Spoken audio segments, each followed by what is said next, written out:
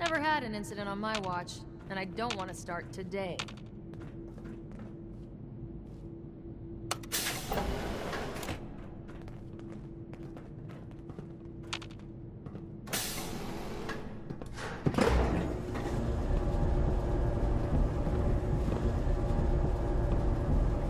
Hey, Bobby. This vault would fall apart if I wasn't here to tell old Rusty to fix it. I heard outsiders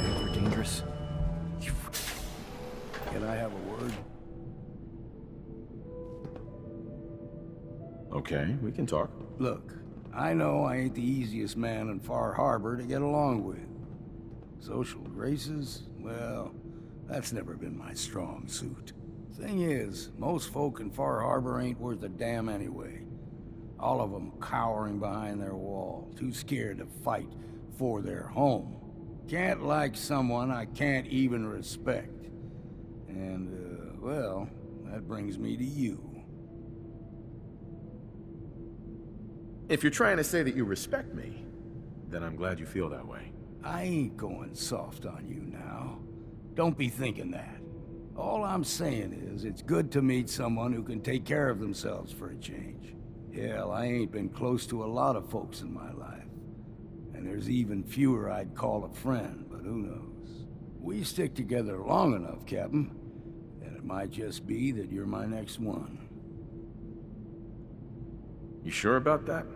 My friends tend to get into a lot of dangerous situations. That's every day of my life. All right, enough of this blubbering. You lead and I'll follow.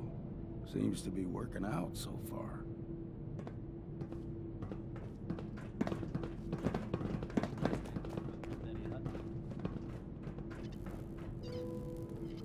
Katie Pinn is the teacher here in 81. You should stop by her class. She's big on learning from outsiders.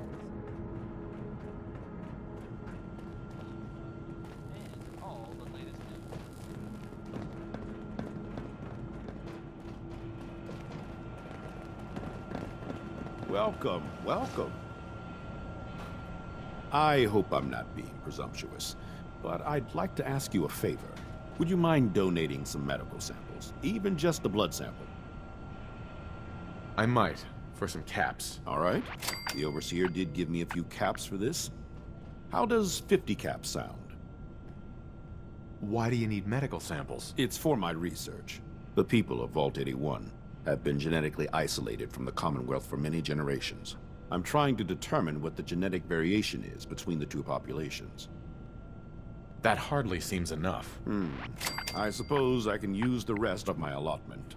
I can give you 100 caps. You'll have to do better than that to get your pound of flesh. You drive a hard bargain. I can give you 150, but not a cap more. Just have a seat, and I'll draw some blood.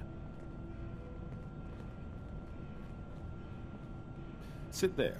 This'll only take a sec.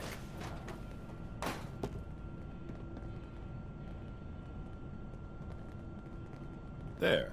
Hardly hurt a bit, eh? Here are the caps I promised you. Thank you. This will be a great help. Now, I need to get these prepared immediately. You're that wanderer from the Commonwealth. I'm Rachel. I assist Dr. Forsythe with his medical duties. Are you sick or injured? Do you get a lot of patients in the vault? No. The people of this vault are surprisingly healthy. If that's all, I have work to do. Rachel. I can patch you up if you need it. For a small fee, of course. Patch me up, Doc. Now, go over your symptoms for me, one at a time. Feeling sick. I think it's radiation. We'll clean you up. Don't worry.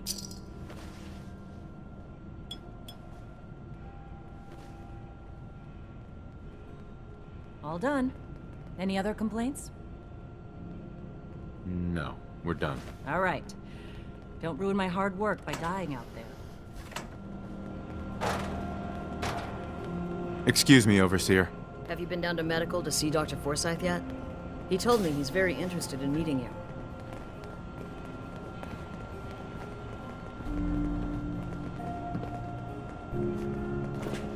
Hey, Tina. I never should have gotten him started on Jet.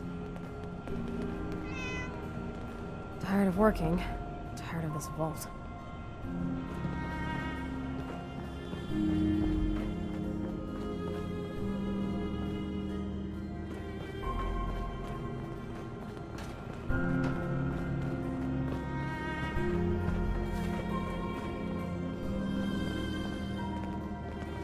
Bobby, Tina doesn't know what she's talking about. I'm careful.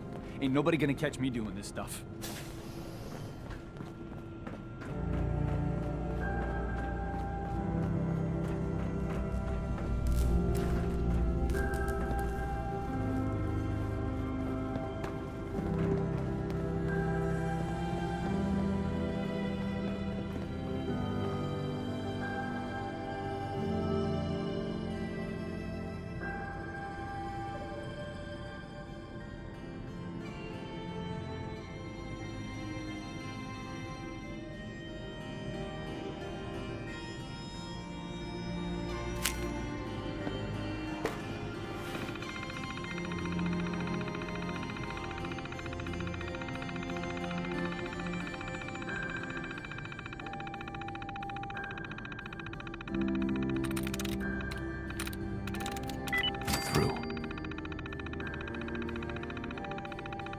Away with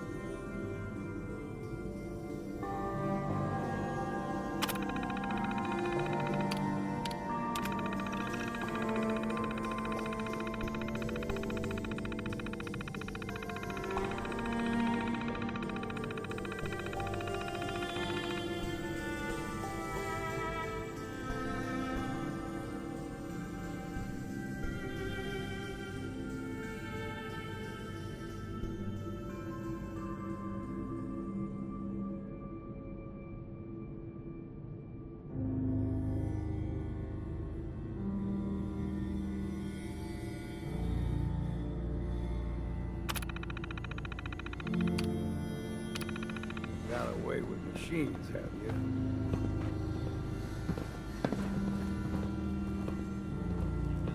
heads up. What? Something you need from me? Your thoughts? How'd anyone stay sane living in a place like this? Your thoughts? Heard about the experiments they did in places like this. Human decency must have been in short supply back then. How do you think things are between us? Don't know that we've got much of a relationship yet, but you seem all right to me. Oh, nothing. Fine.